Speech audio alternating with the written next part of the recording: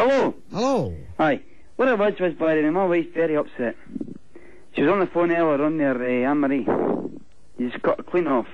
Right. She was talking about uh, the media's not arrested, and you just got to clean off. And, uh, and by the way, I'm sitting here now, and she went up to her bed, and she's absolutely depressed, not arrested, through you. Nonsense. No, no nonsense, by the way.